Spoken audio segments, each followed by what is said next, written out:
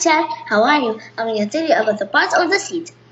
First thing, there's different kinds of seed, like different colors, or different size, or different shapes. Let's take a closer look from the seed. The important part in the seed is the seed coats.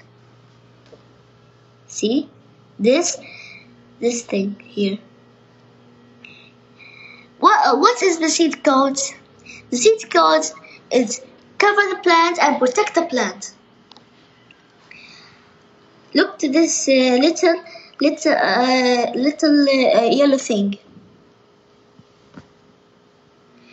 This yellow thing is its name is its name is seed leaf, and the seed leaf is actually is actually food.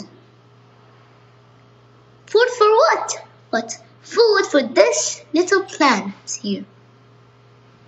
This little plant named seedling, and seedling eat from this yellow thing until it grew up, grew up to an adult, and then uh, uh, it will start making again and the life cycle of the seed start again and start again. Thank you. Bye.